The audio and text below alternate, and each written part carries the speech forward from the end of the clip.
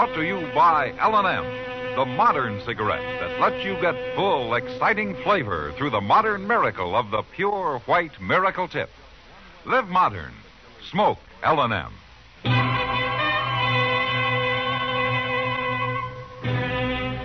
Around Dodge City and in the territory on West, there's just one way to handle the killers and the spoilers, and that's with a U.S. Marshal and the smell of gun smoke.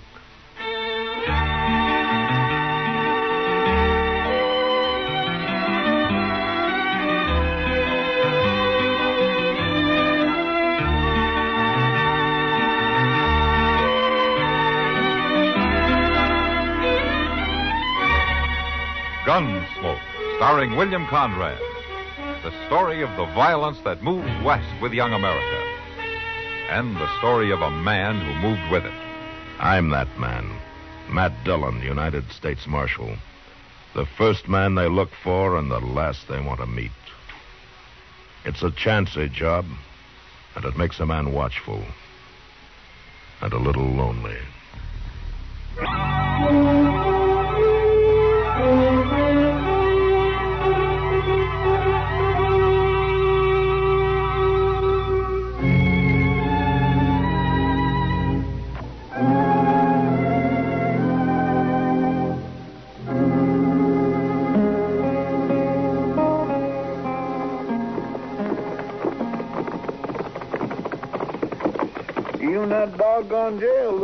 Home tonight, Mr. Dillon. Uh, it's been a long ride. Get a fire going and some coffee started, will you, Chester? I'll unsaddle the horses. Yes, sir. What? It's Tover, Matt Van Tover. Oh, hello, Van. I didn't recognize you there in the dark. I've been waiting for you, Matt. I wanted to talk to you. Well, Alone, if it's all the same. No offense, Chester. You old none took, Mr. Tover. I was just going on in and make some coffee anyhow. I'll make us all some while I'm at it. why didn't you wait inside, Van? The office is open. Did for a while, but just couldn't stay set. And I guess you have got something on your mind. Matt, you know a lot about me. You know I tore around when I was younger before I met Edna and we got married and the kid come. Yep, like most men, Van. No, that that ain't what I mean exactly. I mean, I never quite got on the wrong side of the law, but I've pretty near did a few times. Well, Well, I was mighty handy with a gun, Matt. And I was too quick to use one a lot of times. Sure, it was always self-defense, but what are you getting at, Van? Matt, you still got that gun I gave you two years ago when the kid was born? Yeah, it's in the office in the safe. You got any need for it? No? I want it back. I better get this other saddle off. No, no, Matt, wait. I can go buy another gun. It's just that I, I'm used to that one. I carried it for years. And I got to have one tonight. You haven't worn a gun for two years now, Van. You told me when you gave it to me you were through with gunfighting. I didn't ask for this. For the kid's sake and Edna's. So you told me. That's true, Matt. You said you only had one enemy in the world and you hadn't heard of him for years. What's the matter? Have you gone out and made yourself a new one? No. And it's the same one, huh? He's caught up with you? No, it was 12 years ago. Clear down in Durango. Fight over a girl, nobody. She didn't even count. I just fought easy in them days, was all. Yeah, sure. This fella drawed on me, and I put a bullet through his leg. He was still laid up with it when I rode out of town. And he swore he'd find me and kill me. I didn't pay it much mind. We all talk big when we're young, you know. I know. He rode into Dodge today. He's been asking for me. Uh-huh. What's his name? Largo Greeland. He's a big fella. He's built like a bull. Always wears two guns, and he can shoot with either hand. Van, does your shoulder still bother you, son? What's that got to do with it? Look, you might as well have given me that gun four years ago when that horse fell and rolled on you. Now, you get mixed up in something like this with that bad shoulder, and you'll be dead before you even get your gun clear of the leather. You must be out of your head. You think I want to meet Largo? You sure act like it. He's come after me. Twelve years he's been looking. That's a lot of hate, Matt. And if I don't call him here in town, he'll come on out to the ranch. I got Edna and the kid to think of. All right, then think of him. Stay out of this and leave it to me. You think I wouldn't like to? Matt, I'm scared. I know what I'm up against, and I'm scared to death. Then get out of town. Stay clear of him and let me handle it. It's not your fight, Matt. It might be. Well, ain't no use arguing about it. If it's all right with you, I'll take my gun and not bother you no more. Why don't you use your head, Van? You haven't got a chance. I want the gun, Matt. I want it now. All right. Come on.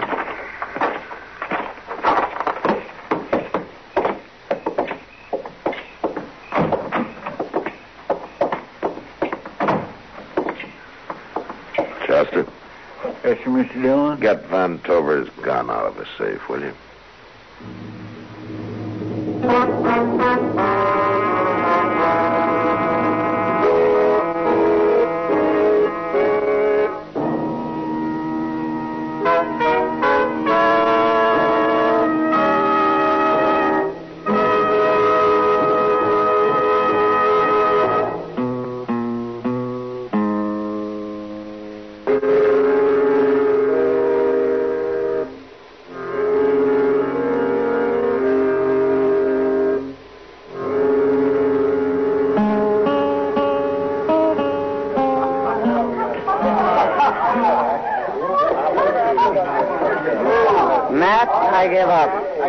Figure it out. I'll figure what out, Kitty. You, the way you're acting.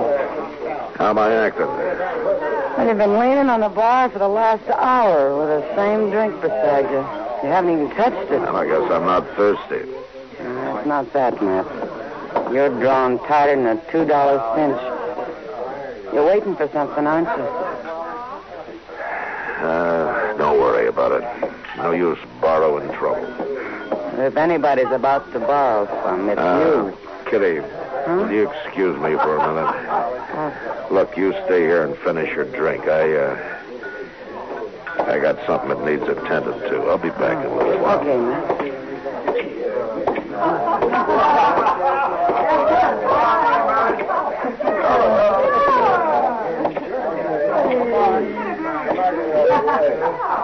Your name Largo Greeland? Might be. What's on your mind, mister? Well, I'm the marshal here in Dodge. One of them, huh? Yeah. You, uh, ever been on the Cherokee Strip, Largo? Oh, now I see. Van Tover come whining to you, I reckon. Got you to do his fighting for him, huh? I'm not talking about Tover. I'm talking about some wanted bulletins I've been looking over. Got your name and face on them. You don't see. One of them's for murder down on the Cherokee Strip. Man must have changed some. Spook's easier, for one thing. Hollers for his hit. Forget about the Van. That's kind of a hard thing to do, Marshal, when you've looked for a man 12 years and finally found him. Understand he's staked out over by the stock pens. Got covered the sides and behind. Sure looks like he ain't running no chances. but I can wait. Let him sweat some. He can't stay there forever. You're under arrest for murder, Largo. Now, I'd like to blood you, Marshal. But I got other business in town. Not now, you haven't. I ain't gonna draw on you. More than likely, you got a man somewhere's behind me. No, I ain't gonna draw on you.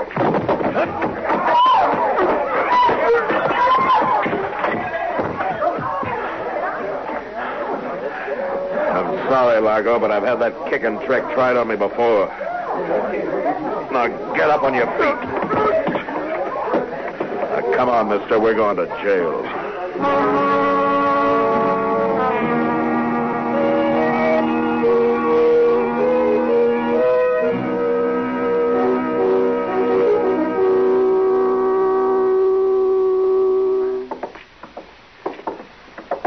And doggone it, man, I'm telling you. Someday you're going to take one chance too many. Oh, what do you mean, Doc? Trying to arrest somebody you know's a killer with your gun in your holster. Doc, a lawman that went around with a pistol in his hand would last about a week. Why? Because every outlaw in town would figure he had a right to ambush him. Uh, Marshal, Huh? Oh. Oh, you're in town kind of late, aren't you, Miss Tover? Marshal, where's Van? Oh, I don't know. Around town somewhere, I guess. Now, Doc, you know Miss Tover, don't you? Oh, do I? And of course I know. Who do you think delivered that baby of hers? How are you, Edna? Marshal, who's Van going to fight? Fight? He's wearing a gun, first time in two years. And he's in town looking for somebody. He wouldn't tell me anything, but I know.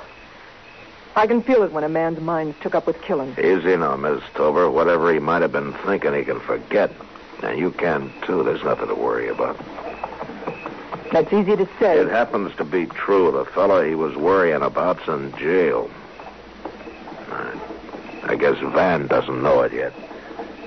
Are you telling me the truth, Marshal? Yes, I am. Now, why don't you get yourself back out to the ranch? That husband of yours is going to be tired and hungry when he finally rides in tonight.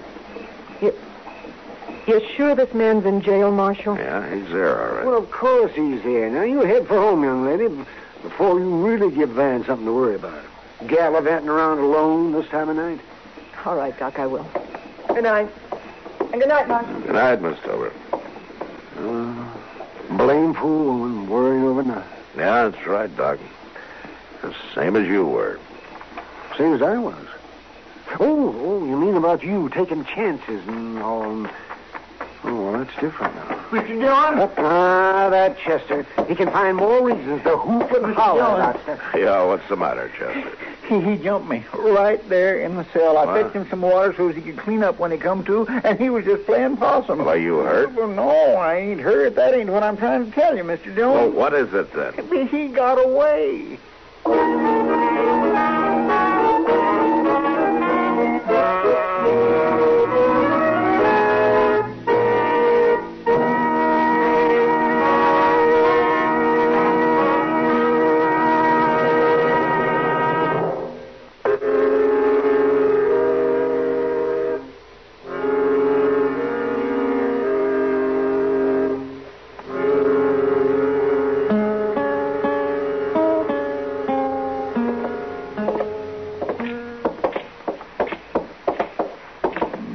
Golly, he sure didn't waste no time making himself scarce, Mr. Dillon. No, he sure didn't. Uh, Doc, uh, any sign of him around the railroad depot? No, not a whisper, man. Quiet as a tomb over there. And, and I didn't see Van Tover either. Yeah. Yeah, we got to find one of them before they find each other. Well, it's just possible that he pulled stakes and lit out, man. Not after 12 years looking for Tover. He's still around somewhere. Well, you had him locked up in jail. Oh, Mr. Dillon, I just don't know how it happened. He just fooled me, though. Ah, just you're probably thinking about women. They're always fooling you, too. now, you look here, Doc. I- Forget I- it, Chester. We all get taken in once in a while. No, I just don't know how he tricked me like Well, that. never mind. It's done now. The thing to do is to find him. He hasn't had time to get very far. Matthew, Mr. Dillon. What? Uh, yeah, over here, Miles. Wonder what old Miles is doing out this time of night. He's probably trying to peddle something, make another five cents profit so he can sleep better. I heard that, Doc. I heard what you were saying behind my back. there isn't anything I wouldn't say to your front, you old skinflint. What's on your mind, Miles? Uh, Matthew, there's something mighty funny going on.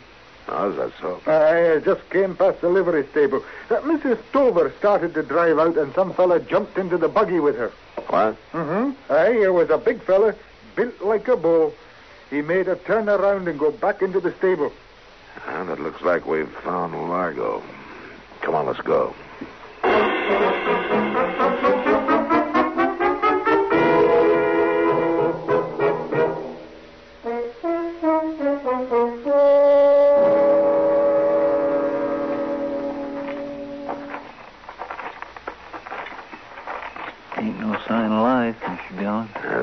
Reason for him to advertise. Well, he might have left. It's been five minutes since I saw him. If you saw them at all, you've probably been nipping at that Scotch whiskey of yours. One of these days, Doc, you'll go too far. Look up. Well, I, I guess he ain't left yet after all. Largo! Come on out of there with your hands up. Me and the lady's too comfortable, Marshal. Why don't you come and join us? Let her come out alone and you won't get hurt. I don't figure to get hurt. Not while she's with me. Matt, what's going on? You got Largo cornered in there. I heard a shot. Go find her husband, Marshal. Tell him if he hurries, she might still be breathing. Marshal, no. That, that's Edna. Don't let that Largo's got. Edna in there. Uh, Gertie. Wait a minute, man. It won't help her any to walk out there and get yourself killed. There's no use arguing, Matt. No, I guess you're right. There isn't any use arguing. Doc, take care of him, will you? Chester, get his gun. And see if you can hold Largo's attention. Fire a couple of shots. I'm going to try to slip in the back. Okay, Mr. Dillon. Hey, let me have his gun, Doc. Uh, Largo, you ain't got a chance. Throw your gun out and walk out of there with your hands up for me, and Mr. Dillon comes in after you. Come on if you feel lucky. You think we don't mean business, Largo? That convince you any? You better be careful, boys. You're scaring the lady. Me and Mr. Dillon will give you just two minutes before we rush you. you know where to find me. Come on, I'll pick you off one at a time. right after I shoot the lady, of course. Please, let me go. I don't know who you are, but Shut up before you get me mad. Don't move, Largo. Marshal. Well, sneaked in the back way, like any ordinary pool polecat. Don't turn around, Largo. Just drop that gun. Sorry, Marshal. A man waits 12 years for something. It ain't easy for him to just give up and quit. You had all the chance you're going to get, Largo. You move that gun one inch toward Miss Tobin, it's the last move you'll ever make. Has to be a last move sometime, Marshal. So I reckon it might as well be now.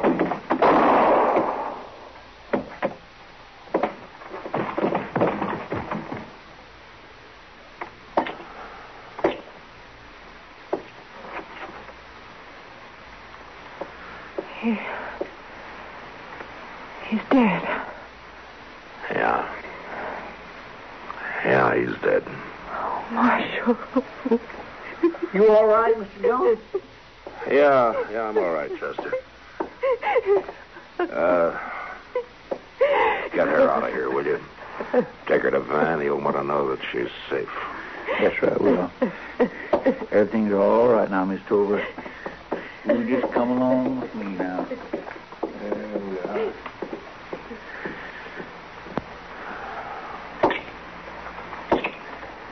Hey, Doc.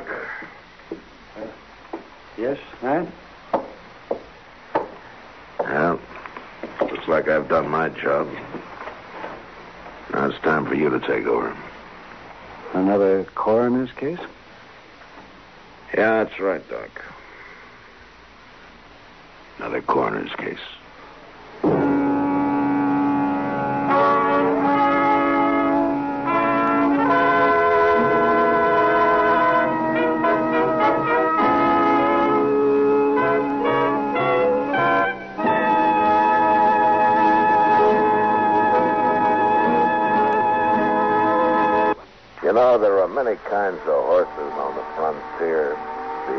Spotted horse of the Indians or Appaloosa.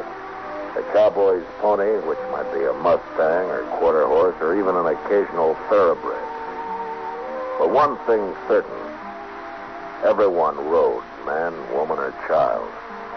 And next week, Dodge watches an Indian girl ride into town, half dead in her saddle. Gunsmoke. Produced and directed by Norman Macdonnell, stars William Conrad as Matt Dillon, U.S. Marshal. The story was specially written for Gunsmoke by Les Crutchfield, with editorial supervision by John Meston. The music was composed and conducted by Rex Koury. Sound patterns by Tom Hanley and Bill James. Featured in the cast were Harry Bartell, Jeanne Bates, Barney Phillips, and Ben Wright. Parley Baer is Chester, Howard McNear is Doc, and Georgia Ellis is Kitty. Our thanks to TV Radio Mirror and to you, our listening audience, for selecting Gunsmoke as the best Western program on radio for the third consecutive year. We are also pleased and proud to announce that William Conrad was selected as the best Western star. The results of this annual poll appear in the current issue of TV Radio Mirror. Join us again next week for another story on Gunsmoke. This is the CBS Radio Network.